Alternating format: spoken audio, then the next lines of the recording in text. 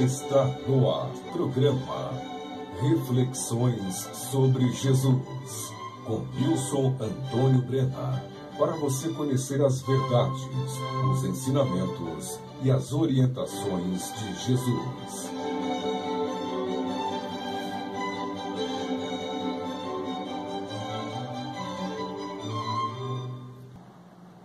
Olá, eu sou Nilson Antônio Brena, biólogo. Muito obrigado por você ter escolhido este programa Reflexões sobre Jesus para ouvir. Ele será muito útil para você. E o tema de hoje é Benefícios Espirituais do Jejum. Se alguma coisa que eu te disser aqui hoje estiver em contrário ao que o próprio Senhor Jesus ensinou, considere errado esse algo que eu te disser. E também, tudo que eu te disser aqui, você não deve imaginar que é para outras pessoas, tipo, fulano é que deveria agir assim, ah, fulana teria que agir assim. Não, esqueça outras pessoas. Tudo que eu disser aqui é para você aplicar em sua própria vida pessoal. Tudo que eu disser aqui é para você fazer uma reflexão sobre você mesmo uma reflexão sobre você mesma. Assim, esta palestra não é para outras pessoas, esta palestra é para você. Houve o caso em que os discípulos de Jesus não conseguiram expulsar o demônio de um menino, e Jesus disse que um dos motivos era a falta de fé deles. E também outras causas apontadas por Jesus pelo insucesso na expulsão daquele demônio foram a necessidade de oração e de jejum. Veja o que Jesus diz na Bíblia Sagrada, no Evangelho de Mateus 17, no versículo 21. Mas esta casta de demônios não se expulsa, senão pela oração e pelo jejum. Mas esta casta de demônios não se expulsa, senão pela oração e pelo jejum. A casta de demônios a que Jesus se refere não acata sua expulsão apenas através da ordem dada por aquele que os expulsa quando não há fé suficiente. A casta de demônios a que Jesus se refere parece somente acatar a ordem de expulsão a partir da, da intervenção direta de Deus, o que se pode conseguir através das práticas da oração e do jejum. Ou seja, com as práticas da oração e do jejum, conseguiremos obter a intervenção direta de Deus.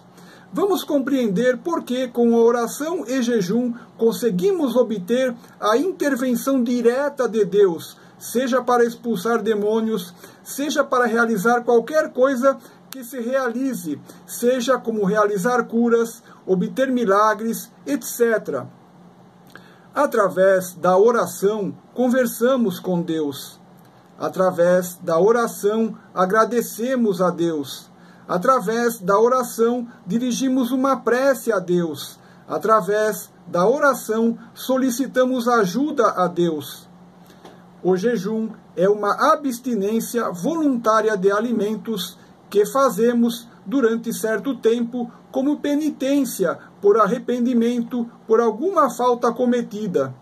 O jejum é uma abstinência voluntária de alimentos que fazemos durante certo tempo como penitência por arrependimento pela desobediência de algum mandamento de Deus, de forma que o jejum torna-se então uma expiação voluntária por algum erro que se praticou. Ao se praticar o jejum, demonstra-se a Deus que se está arrependido dos erros que se praticou, porque se aceita voluntariamente realizar este sacrifício expiatório de jejuar. Um coração que realiza por sua livre vontade um sacrifício expiatório demonstra a verdade de seu arrependimento a Deus. Com a prática do jejum, o arrependimento não fica só em palavras, mas demonstra com atitude prática que seu arrependimento por ter pecado é verdadeiro. Este sacrifício voluntário do jejum possui muito valor para Deus, pois Jesus afirma que aquela casta de demônios citada no versículo não se expulsa senão por oração e jejum. Através da oração e do jejum, o homem aproxima-se de Deus. Através da oração e do jejum, o homem estreita a sua relação com Deus. Através da oração e do jejum, o homem liga-se a Deus. Através da oração e do jejum, o homem fortalece a sua relação com Deus. Através da oração e do jejum, o homem manifesta humildade, isto é, manifesta o sentimento de sua fraqueza e reconhece que precisa se melhorar e se aperfeiçoar para não errar mais. Através da oração e do jejum, o homem manifesta sua obediência às leis de Deus. Através da oração e do jejum, o homem manifesta o seu temor a Deus. Através da oração e do jejum, o homem manifesta o seu respeito a Deus. Através da oração e do jejum, o homem manifesta a sua reverência a Deus. Um outro benefício espiritual que se obtém com a prática do jejum seria o desapego aos prazeres oriundos do corpo físico. Note que ser capaz de realizar um jejum alimentar demonstra desapego ao prazer oferecido pela comida. Note que ser capaz de realizar um jejum sexual demonstra desapego ao prazer oferecido pelo sexo. Assim, ser capaz de fazer um jejum alimentar demonstra que se tem desapego aos prazeres da comida oferecidos pelo corpo físico. Demonstra que não se é escravo do prazer de comer. Ser capaz de fazer um jejum sexual demonstra que se tem desapego ao prazer oferecido pelo ato sexual, demonstra que não se é escravo do prazer sexual. Assim, aquele que é capaz de fazer um jejum alimentar, aquele que é capaz de fazer um jejum sexual, demonstra que tem desapego aos prazeres do corpo físico, demonstra que é senhor de si mesmo, demonstra que tem domínio sobre si mesmo. Este desapego à escravidão dos prazeres físicos certamente deve ser especialmente importante como mais uma virtude necessária para se habitar no reino dos céus, porque as palavras que Jesus diz em Mateus 22, 30, nos levam a deduzir que não há, por exemplo, a prática de sexo no ambiente celestial, pois veja o que Jesus diz sobre como é a vida na ressurreição de uma mulher que ficou viúva várias vezes, conforme consta na Bíblia Sagrada, no Novo Testamento, no Evangelho de Mateus 22, no versículo 30 porque na ressurreição nem casam nem são dados em casamento, mas serão como os anjos de Deus no céu. Pela afirmação de Jesus sobre a vida que continua após a morte do corpo físico, no reino dos céus, as pessoas não se casam, o que nos leva a deduzir que não há a prática de sexo no reino dos céus. Veja novamente as palavras de Jesus no versículo. Porque na ressurreição nem casam, nem são dados em casamento, mas serão como os anjos de Deus no céu.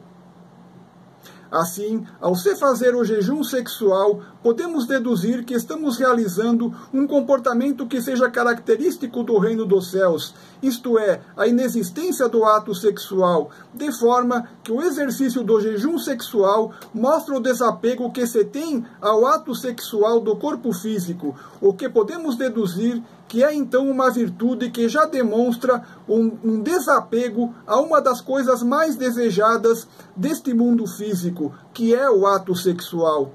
E por dedução desse relato, também devemos levantar a hipótese de que no ambiente celestial não teríamos de nos alimentar com alimentos físicos, porque na ressurreição não teríamos um corpo físico.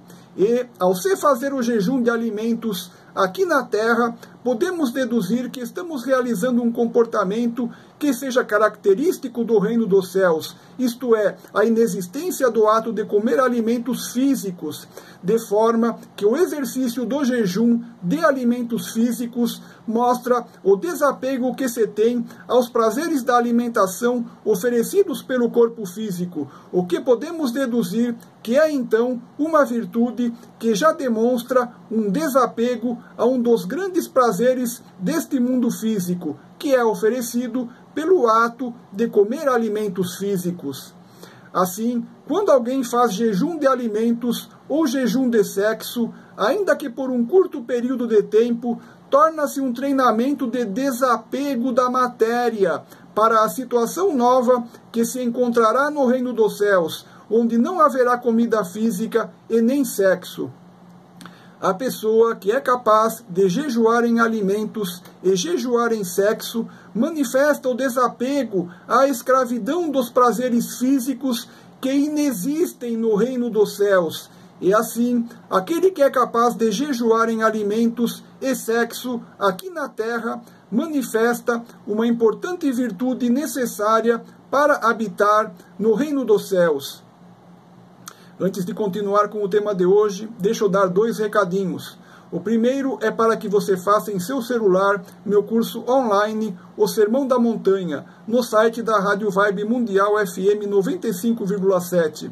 No Sermão da Montanha estão os pilares da doutrina de Jesus Cristo. Comece hoje mesmo em seu celular meu curso online O Sermão da Montanha, no site da Rádio Vibe Mundial FM 95,7 muito obrigado.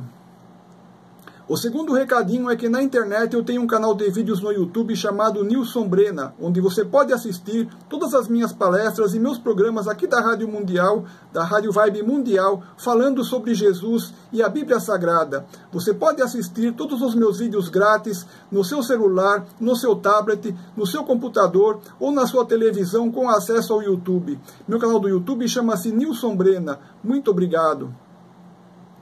Retornando ao tema de hoje, acredito que haveria mais um enorme benefício espiritual para quem jejua, pois levanto a hipótese de que o jejum alimentar ou o jejum sexual promoveria um afastamento espontâneo de espíritos inferiores que vivem ao redor de uma pessoa, pois aqueles espíritos inferiores buscariam sorver os fluidos dos alimentos daquele que come. Aqueles espíritos inferiores buscariam sentir os prazeres do sexo daquele que o pratica, de modo que ao se jejuar se afastariam espontaneamente aqueles espíritos inferiores, o que então limparia o ambiente onde aquele que jejua está, lhe conferindo paz e tranquilidade, sendo que esta paz e tranquilidade também aquieta as pessoas encarnadas ao redor de quem jejua, pois se verifica que deixam de haver brigas, conflitos e confusões com aquele que jejua, de modo que o resultado final é um ambiente de paz e tranquilidade verdadeiros, onde estiver aquele que jejua. O jejum alimentar será mais eficiente para afastar espíritos inferiores quando a pessoa se abster das comidas mais gostosas, quando a pessoa se abster dos manjares mais desejáveis, pois certamente estes são os que mais atraem espíritos inferiores. Como dissemos, o jejum é uma penitência voluntária em arrependimento por pecados cometidos ou como sinal de humildade perante Deus. Acredito que se deva realizar ao menos um jejum por ano, jejum que durará apenas um dia. A data poderia ser a sexta-feira da paixão de Jesus Cristo, onde relembramos a crucificação de Jesus Cristo. De Jesus Cristo. Para se obter mais benefícios espirituais do jejum, poderia-se jejuar um dia por mês, ou, melhor, um dia por semana, por exemplo, todas as sextas-feiras. O jejum pode ser do tipo completo, onde se bebe somente água à vontade durante o dia do jejum. O jejum também pode ser do tipo parcial, onde se faz uma refeição única nesse dia do jejum. Refeição simples, sem grandes sabores e também sem grande quantidade, bebendo-se água à vontade durante todo esse dia. Um importante alerta: qualquer tipo de jejum somente pode ser feito com autorização e orientação de um médico, para que tu não coloques a tua própria vida em risco. Prestes atenção neste outro alerta que vou te dar, pois há pessoas que não podem fazer jejum. Há pessoas que não podem fazer jejum, preste atenção: idosos, grávidas, bebês, crianças e jovens em fase de crescimento estão proibidos de fazer jejum alimentar, bem como portadores de várias doenças, como doenças do coração, algumas doenças de outros órgãos do corpo, etc. A não ser, é claro, que haja algum tipo de jejum prescrito pelo próprio médico da pessoa.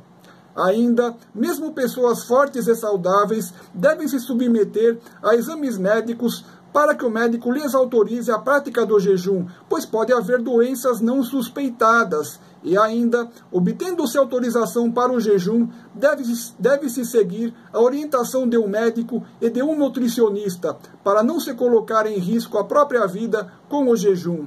Ainda, durante qualquer tipo de jejum, não se deve executar atividades como dirigir automóveis, atravessar a rua, etc., pois a uma natural fraqueza e desconcentração durante o período de jejum, que podem causar acidentes. E mesmo atividades dentro do lar podem ser perigosas, como quedas ao subir e descer escadas, tapetes que escorregam, escorregões possíveis no banheiro, perigo com, a, com o acender o fogo do fogão, etc. De forma que muitos cuidados e precauções devem ser adotados por quem deseja fazer um jejum alimentar de forma segura.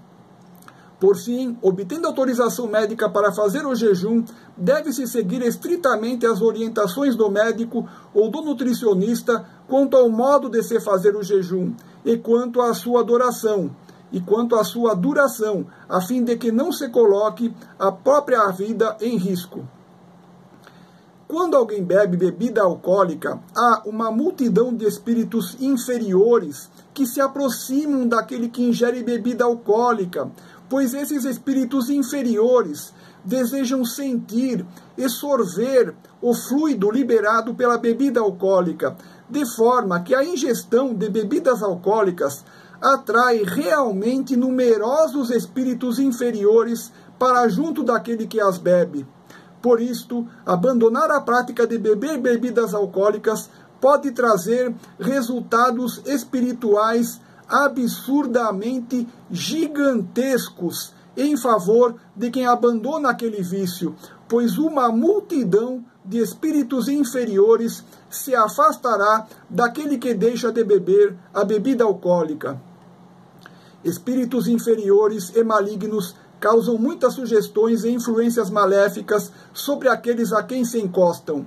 Brigas no lar, discussões sem motivo, discussões sem fim que nunca terminam, desentendimentos, raiva, ódio, brigas sem fim, gritarias, proferimento de palavrões, etc. Tudo isto indica a presença de muitos espíritos inferiores e malignos atuando, e o jejum é uma arma poderosa ao teu alcance para limpar o teu lar.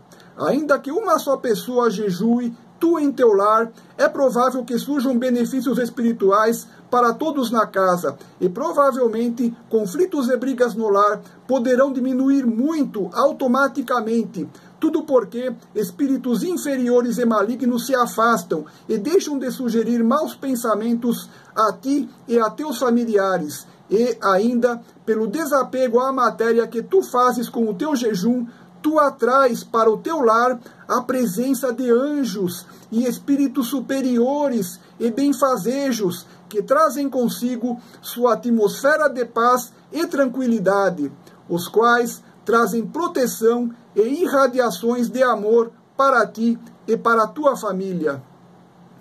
O jejum sexual também te propiciará benefícios surpreendentes e inacreditáveis. A realização de sexo, a visualização de imagens de cunho sexual, o pensamento fixo no sexo atrai uma multidão de espíritos inferiores. Caso tu faças um jejum sexual por 40 dias, tu não acreditarás como a paz e a tranquilidade recairão sobre ti e sobre a tua família. Após cerca de sete dias de jejum sexual, já se nota que diminui muito, ou mesmo deixa-se de falar palavrões, caso às vezes se cometia esse erro. Com o decorrer do jejum, tu notarás que muito dificilmente tu mesmo serás causador de brigas e discussões, e, surpreendentemente, familiares ou colegas de serviço que antes discutiam e brigavam com você deixarão de fazê-lo. Tudo isto porque os espíritos inferiores e malignos se afastam de teu redor e, pelo contrário, anjos e espíritos benfazejos passam a se aproximar e a conviver contigo. E estes espíritos superiores, eles mesmos também são ativos em proteger-te a ti e ao ambiente onde tu estás. E por isto o jejum sexual fará surgir uma paz e uma tranquilidade no ambiente onde tu estiveres que talvez tu nunca tenhas antes conhecido. O jejum sexual limpará a tua casa de espíritos inferiores e malignos e atrairá a presença de anjos e espíritos superiores e benfazejos. Na Bíblia Sagrada, no Novo Testamento, no Evangelho de Mateus 19, no versículo 12, Jesus diz palavras onde a interpretação do texto não deve ser literal.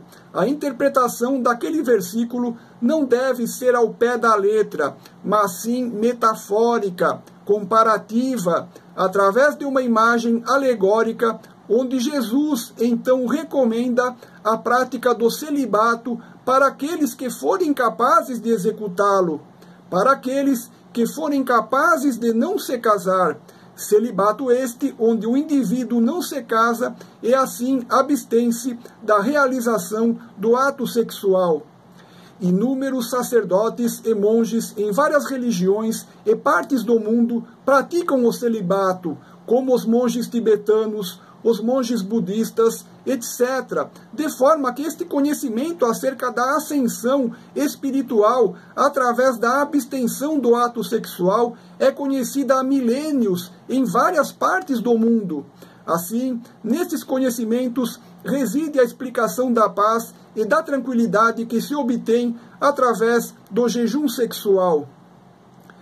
Qualquer tipo de jejum não é um fim em si mesmo Quero te alertar que mortificações do corpo físico não farão ninguém entrar no reino dos céus. Conforme nos ensina Siddhartha Gautama, o Buda, nenhuma mortificação do corpo físico purifica a alma, mas o que purifica a alma, o que purifica a alma é o sacrifício que cada um deve fazer para se tornar a cada dia uma pessoa melhor. Ou seja, devemos abandonar o egoísmo e passarmos a ter compaixão de nossos semelhantes. Assim, o mais importante é que tu deves praticar os dois maiores mandamentos de Jesus, que são amar a Deus sobre todas as coisas e amar, e amar ao próximo como se ama a si mesmo. E lembre-se que Jesus disse que devemos ser capazes de amar até mesmo os nossos inimigos. O sacrifício que realmente agrada a Deus é o coração arrependido e que deseja não voltar mais a pecar. Estamos próximos do final do programa e eu gostaria de lembrar que este programa Reflexões sobre Jesus, apresentado por mim, Nilson Antônio Brena, vai ao ar aqui na Rádio Vibe Mundial FM 95,7 aos domingos às 20 horas. Estando em qualquer lugar do planeta, você também poderá ouvir este programa na internet, através do site da Rádio Vibe Mundial FM 95,7. Veja o que Jesus Cristo diz na Bíblia Sagrada, no Novo Testamento, no Evangelho de Mateus 7, nos versículos 13 e 14. Entrai pela porta estreita, porque larga é a porta, e espaçoso o caminho que conduz à perdição, e muitos são os que entram por ela. E porque estreita é a porta, e apertado o caminho que leva à vida, e poucos há que a encontrem. Vou encerrar o programa te deixando três lindas mensagens. Primeira mensagem: Jesus te ama muito mais do que podes compreender. Segunda mensagem: Jesus te ama muito mais do que podes compreender. E a terceira mensagem: Jesus te ama muito mais do que podes compreender. Eu sou Nilson Antônio Brena, muito obrigado.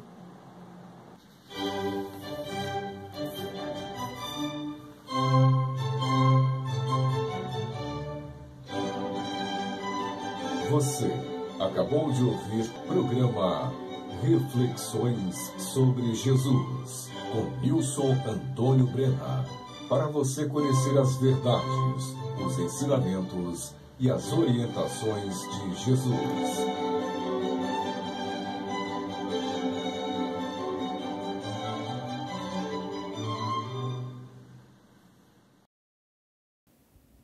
doações, mantenedores e dizimistas. Eu sou Nilson Antônio Brena, biólogo, para que meus vídeos com ensinamentos de Jesus e da Bíblia Sagrada possam continuar sendo produzidos e divulgados, eu preciso da sua colaboração. Doe o valor que estiver ao seu alcance mesmo que a quantia seja muito pequena, porque ela será muito importante para que estes trabalhos possam continuar. Caso deseje ser um mantenedor permanente, faça seu depósito mensalmente. Caso deseje ser um dizimista, faça seu depósito mensalmente. A sua colaboração é muito importante para que estes trabalhos possam continuar, depositando o valor que estiver ao seu alcance, você será um participante desta obra de evangelização para Jesus.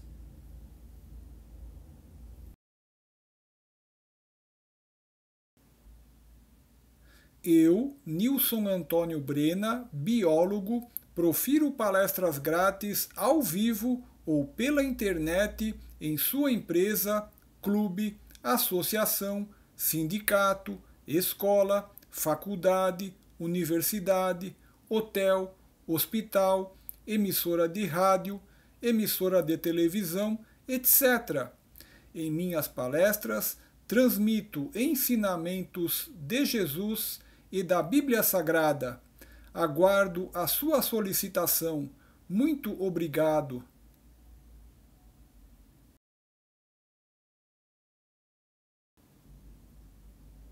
Eu sou Nilson Antônio Brena, biólogo.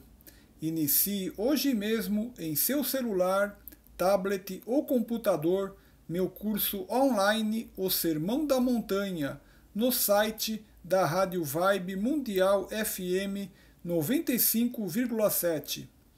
No Sermão da Montanha estão os pilares da doutrina de Jesus Cristo. Faça como milhares de pessoas que já estudaram o Sermão da Montanha de Jesus Cristo. Este curso irá modificar a sua vida. Inicie hoje mesmo em seu celular, tablet ou computador meu curso online O Sermão da Montanha no site da Rádio Vibe Mundial FM 95,7. Muito obrigado.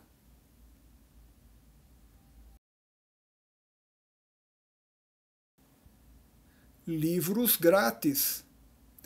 Eu, Nilson Antônio Brena, biólogo, sou autor de livros e alguns de meus livros estão grátis em formato PDF no meu site www.nilsonantoniobrena.com.br. Você não precisa preencher cadastro nem perder tempo de forma alguma. Basta acessar meu site www.nilsonantoniobrena.com.br e clicar na imagem do livro escolhido para fazer o download da obra em formato PDF e ler na hora o livro completo em seu smartphone, tablet, computador, etc. Acesse agora mesmo www.nilsonantoniobrena.com.br.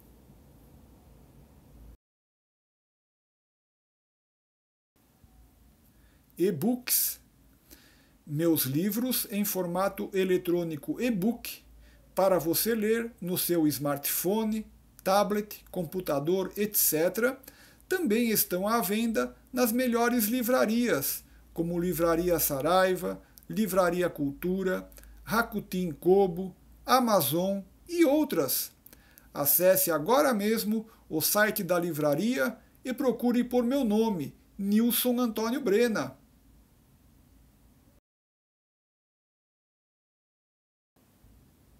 Eu, Nilson Antônio Brena, biólogo, sou autor do livro Como Parar de Fumar Dois Métodos para Abandonar o Cigarro, onde apresento dois métodos sistematizados para o abandono do cigarro.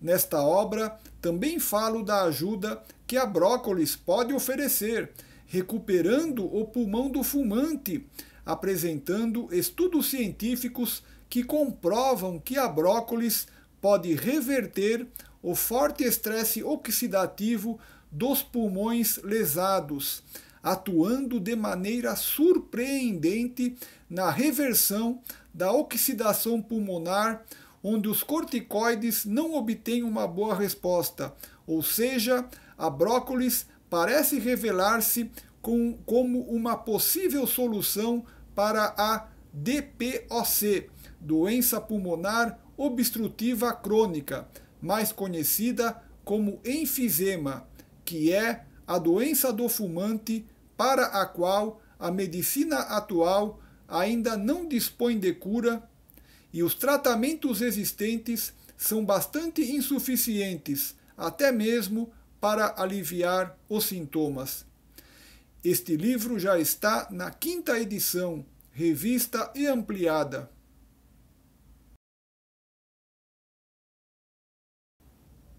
Eu, Nilson Antônio Brena, biólogo, sou autor do livro A Santíssima Trindade e a Astrologia. Este livro traz explicações sobre a Santíssima Trindade, buscando a compreensão do significado do Pai, do Filho e do Espírito Santo. A obra fala de uma possível relação da astrologia com a Santíssima Trindade é apresentada a relação de cada um dos doze signos astrológicos com seu respectivo aspecto da Santíssima Trindade. O livro oferece valiosos conhecimentos necessários à formação do caráter. A obra já está em sua segunda edição, revista e ampliada.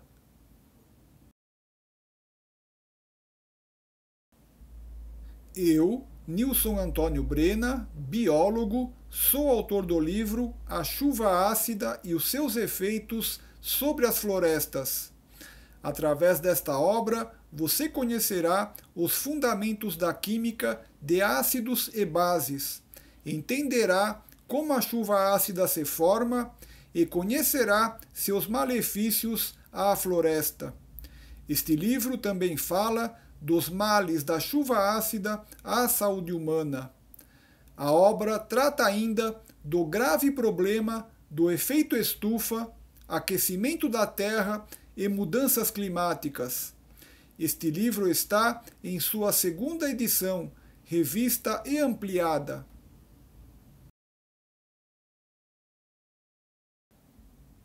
Eu, Nilson Antônio Brena, biólogo, Sou autor do livro Câncer Sugestões de Pesquisas Científicas para Sua Cura, onde apresento 72 sugestões de pesquisas científicas a serem desenvolvidas em laboratório para se encontrar a cura do câncer.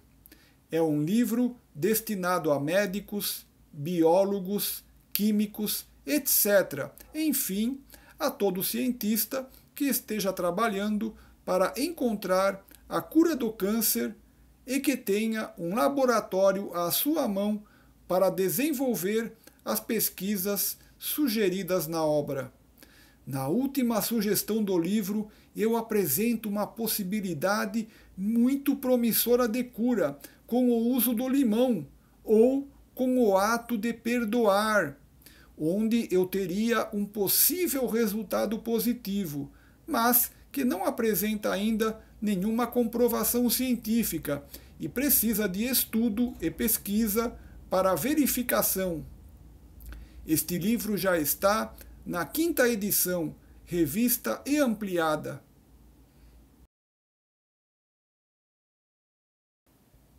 Eu, Nilson Antônio Brena, biólogo, estou presente nas redes sociais como Facebook, YouTube e outras onde apresento palestras completas em vídeos, fazendo reflexões sobre os ensinamentos de Jesus e passagens da Bíblia Sagrada, palestras sobre saúde e qualidade de vida, educação e meio ambiente, palestras sobre sistema operacional Linux e muitos outros temas. Inscreva-se nas minhas redes sociais e assista minhas palestras. Muito obrigado.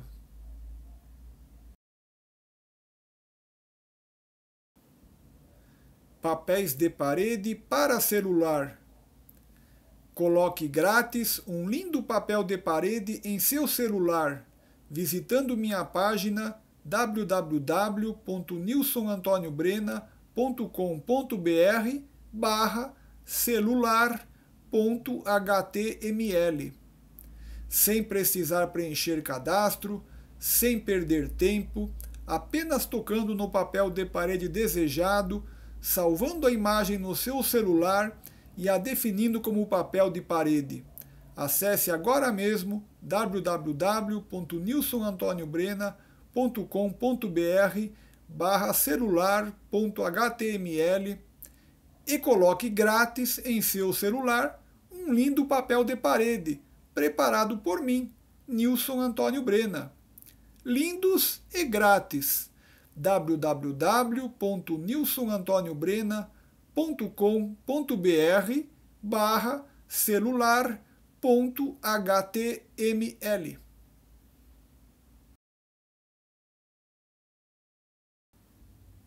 Jesus te ama muito mais do que podes compreender. Jesus te ama muito mais do que podes compreender.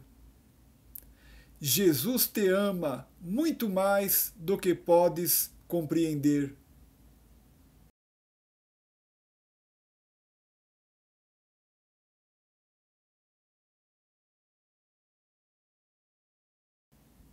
Muito obrigado por você ter escolhido este vídeo para assistir.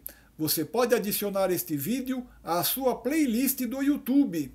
Este vídeo também permite que você o incorpore em seu blog ou página de internet através de link com o YouTube.